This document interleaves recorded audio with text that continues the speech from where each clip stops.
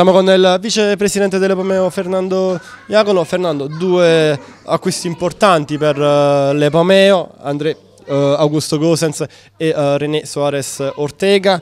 André si è presentato prima, 18 anni, prima esperienza in, in Italia, mentre Ortega ha un curriculum di tutto rispetto. Dal, 2000, dal 2019 a oggi ti aspettavi un'evoluzione così importante di questa società? E, come ho detto anche nella presentazione prima, noi siamo partiti come eh, realtà sul territorio per lo sviluppo e la crescita dei nostri giovani. Eh, ci eravamo prefissati quell'obiettivo, lo stiamo facendo, lo stiamo facendo bene e continuiamo su questa strada. Ci stiamo confrontando già con delle società all'esterno di Ischia e arrivare a questo punto il, la speranza c'era sempre, il pensiero pure.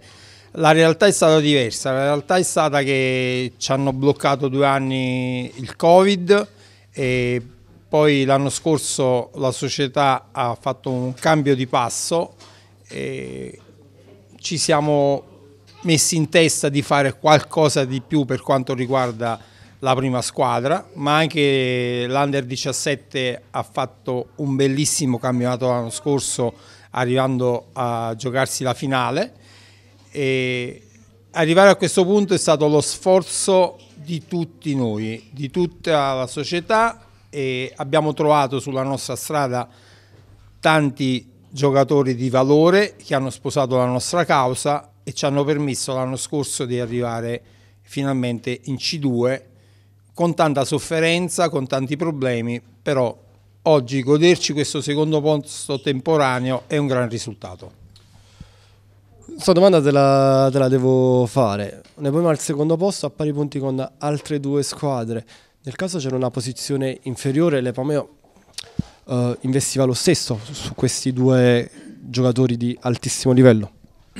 Ti rispondo come ho già detto prima nella presentazione a bocce ferme nella, nella pausa natalizia ci siamo guardati intorno, abbiamo detto eh, ragazzi ormai la, la salvezza è un dato acquisito, ci mancavano pochi punti matematici per la salvezza, oggi lo siamo.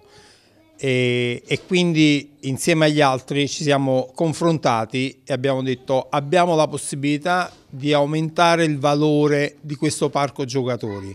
Aumentarlo vuol dire andarci a confrontare con le prime squadre alla pari, senza avere paura. Infatti veniamo da quattro risultati utili positivi, anche senza René.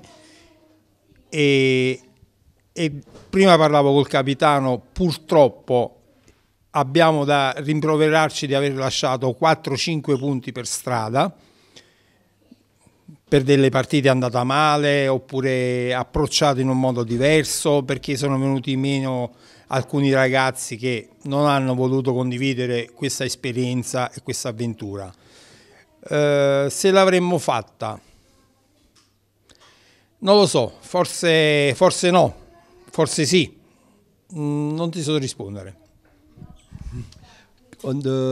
L'obiettivo, ultima domanda, l'obiettivo stagionale dell'Epomeo a inizio anno era salvarsi. L'Epomeo si salva alla fine del girone di andata, ora arriva Ortega, adesso qual è il vero obiettivo di quest'anno? L'asticella, l'asticella è, te l'ho detto un attimo fa, è di andarci a giocare alla pari con, uh, con, le altre quattro squadre che stanno insieme a noi tra il secondo e il terzo posto.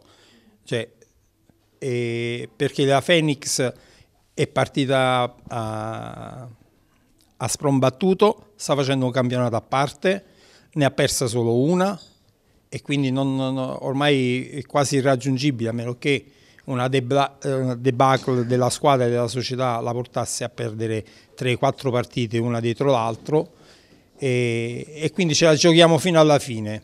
Il secondo posto è un grandissimo obiettivo e poi, poi si vedrà. Eh, L'innesto di André e René possono solo dare altra linfa e farci sognare ancora un po'. Cosa pensi del gruppo squadra? Allora, eh, abbiamo un gruppo meraviglioso, un gruppo che, questo gruppo di prima squadra sto parlando perché poi i ragazzi sono, eh, tutta la scuola calcio fino all'Under 19 sono cresciuti in un modo stupendo, sotto la cura attenta della nostra società, non facendoci mancare nulla.